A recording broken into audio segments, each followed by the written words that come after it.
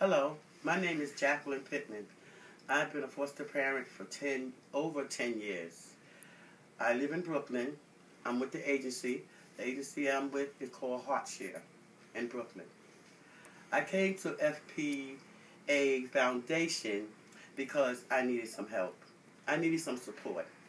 I have a situation that came up that puts allegations against me stating some things that I supposed to have done to some children.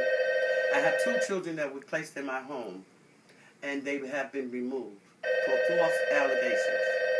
So today I come to FPA Foundation for some time of support because my agency is not supporting me at all.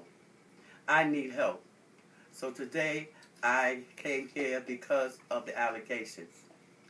The allegation was that I have corporate, I did some corporate punishment to some children with this in my care, which they are allegations.